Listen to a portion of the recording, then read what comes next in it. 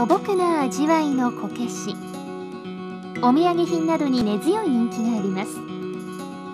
県内には現在十数名のこけし職人がおりそれぞれ特徴ある作品を作っています。南部系のこけしきなきなぼっこはその色や形が特徴的で大変珍しいこけしです。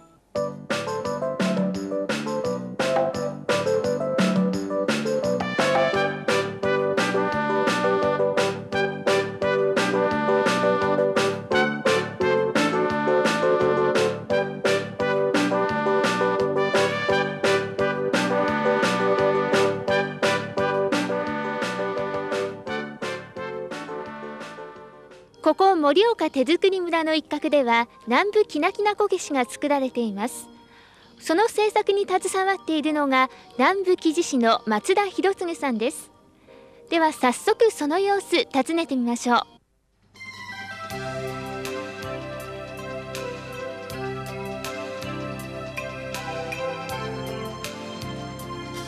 松田博次さんは観光客の注文でこけしを作りますが日頃は小さな駒を製作し販売しています。みるみるうちに出来上がる駒やこけしに観光客たちも目を見張っていました。こう回した時にこうちょっとこれこれできなきなぼっこきなきなぼっこって言ったと思いますよ。きなきなぼっこは乳児のおしゃぶりとして南部木地師だった松田さんの祖父清次郎によって明治時代から作られていました。当時のものは10センチぐらいの大きさで乳児の口に含む性質から色や絵柄を描きませんでした。この特徴はこのこけしは何もなめるもんだから何も書いてないっていうちょうど握りこう握りやすくなってる赤ちゃんが手にこうここもこう裾してこうパンと落ちないようにだんだんおしゃべりですっていうのはあの必要がなくなったんです実際に使うっていうでも可愛いっていうことでもう少し大きく作ってくれもう少し大きい方がいいってだんだん大きくなって完全にもう飾るためには大きく大きく今はもう6寸とか8寸とか1尺とかもう飾りに。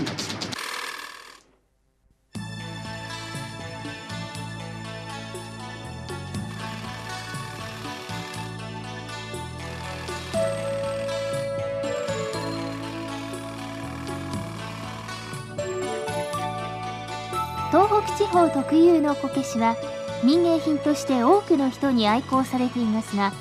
本来は木地師たちの片手間に作った身内で使うおもちゃでした木地師とは木をろくろで加工しお椀や盆などの生活用具や建築材料を製造する職人のことで奈良時代から伝わる木工技術者です。松田さんは南部藩お抱えの木地師安保一族の流れを受け継ぐ木地師で祖父の代からさまざまなものを手がけてきました。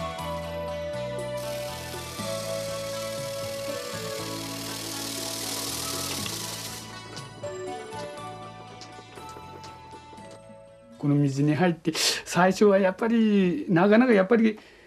あのおびれなくて嫌だったんですよ。でもやっぱりねずっとやってるうちにちょっとさまざできるようになってで面白くなってあなんとなくずっとやってしまったってもう30年以上やってしまったっていう感じです。昔はですね県と大工さんの仕事とかあの加賀屋さん木工屋さんの仕事さまざま注文あったんですよ。でも今は家具屋さんももう当時と比べたらもう3分の1か4分の1に仕事する人がなくなって結局そういう仕事はなくなったんですよね。生地屋っていうのはあのこけし屋さんとまた違うしあの皿とか作るなんかあの漆器のあの生地ですねそういうのともまた違うから何でも作るから丸いものは、うん、長いものでもいいあの板の大きいものでもいいとか何でも作るそういう人なくなるっていうかいないですもん。注文で何でも作るという松田さんはシャンデリアや円形の窓枠など木のぬくもりが伝わる大型の製品も数多く手掛けてきました工作機械の変遷を語る貴重な足踏みろくろを県内唯一保存しているのも松田さんです。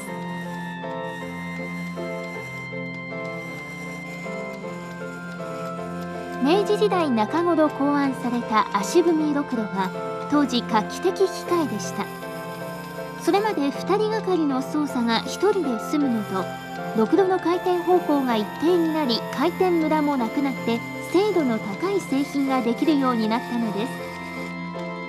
電動ろくろの普及で衰退した足踏みろくろですが松田さんの手にかかると再び息を吹き返し立派に機能します。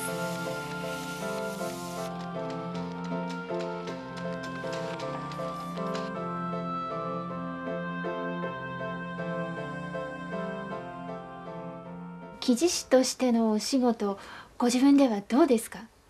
やっていらっしゃって。ずっとやってきてですか、ええ、あ今はとあ良かったと思いますよ、うん、ええ。面白い仕事ですから、あのー、最初はあれでしたけど今はも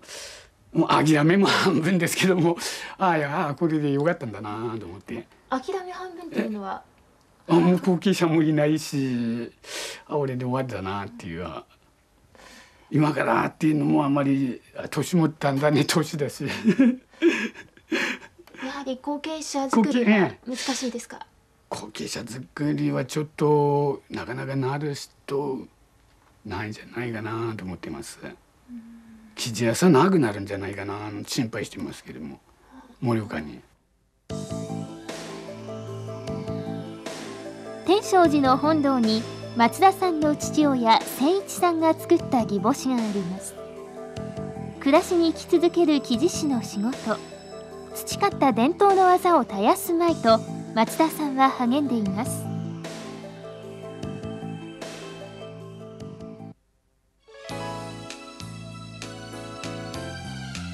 南部木地師が作る系統のこけし職人が花巻市高木で工房を開いています。宮沢賢治記念館の前にある工房デクノ坊の主人は木地師3代目の進孫清三さんです。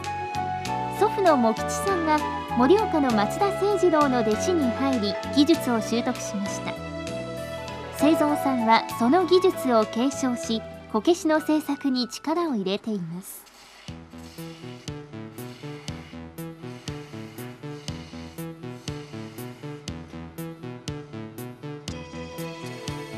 こけしの頭の部分の加工です。ンナが当てられるとみるみるうちに丸みを帯びてきます。すすまごさんの使うカンナは松田さんが使用するカンナと同じで祖父の代から変わりません。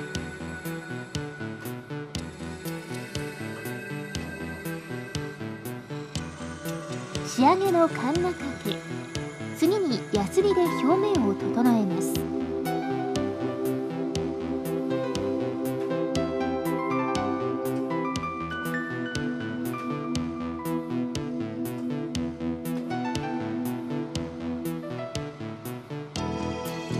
脳を塗り艶出しをします。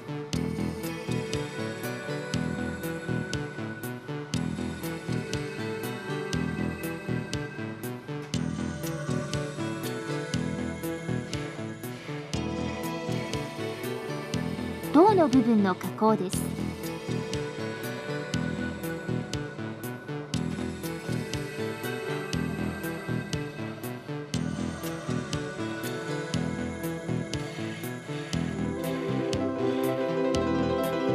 帯付き型のこけしのため腰の部分で慎重さを期します。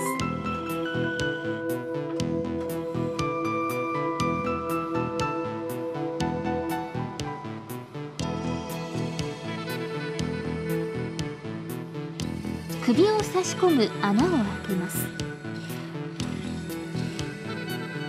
圧力を加え回転する胴に首を押し込むと収縮して挿入されます。すすまごこけしは首をぬるめにするのが特徴です。さい頃からまあ仕事には携わっていたという感じでしょうか？そうですね。遊びで駒作ったりしてましたから小学校の頃から、自分の遊ぶ駒は自分で作るというのをやってたからある程度はできたんですけどね同じことの積み重ねで技術的にも向上してきてそれで思うように作れるようになったから楽しくなったっていうことですね。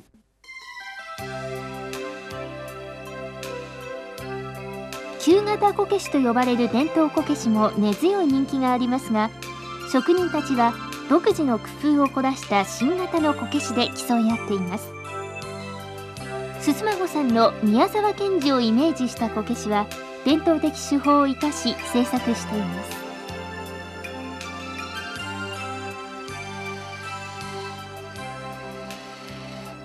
どうしてそういったそういった新しいものにも挑戦してみようって思うようになったんでしょうか？あのなんていうかなうちである昔からある形は3種類だけだし何も書いてないので素朴は素朴なんですけどねなかなか地味なんですよ。それでまあそればっかりじゃなくある程度技術も上がってきたし自分の種類を増やそうと思って一番最初一つだけちょっと作ってみたらそれが案外良かったのでその後もいろんな形を作り始めてその中の一つがこの帽子かぶったやつですね。そうしますとこれからもどんどん新しい種類が増えて挑戦していきたいっていうお考えですね。はい、もっといろいろ作ってみたいですね。半信半疑で制作した賢治こけしは賢治を目当ての観光客や愛好家によって評判を呼んでいます。木の持ち味を生かす伝統技法が宮沢賢治の透明感と相乗して人気の要になっているようです。そういうように新しいものも作っていくっていうことこういった伝統的なものの中で必要だっていうふうにお考えになりますか？それは必要でしょうね。あの伝統だけしっかり守ってるっていうのじゃなく新しいのもやれば意欲も出るし新しい技術も工夫しないといけないしね、えー、個人的に向上するにはそういうのもやっていかないとダメですね。伝統こけしの技法を守りながら新型こけしに意欲を見せるすすまごさん。南部木地市の誇りとその技法を伝承したいと願う松田さん。2人の技が織りなす作品は人々に潤いを与えてくれます。私たちの生活の中にはさまざまな木工品や工芸品があります。その多くは先人たちが長い間培ってきた技術の結晶ともいえるものです。木のぬくもりが伝わってくるような南部きなきなこけし。伝統の中に新しい試みが加えられた姿はいかがでしたでしょうか。伝統産業の中に新しい感性が生き続ける姿はこれからも私たちを魅了し続けていくことでしょう。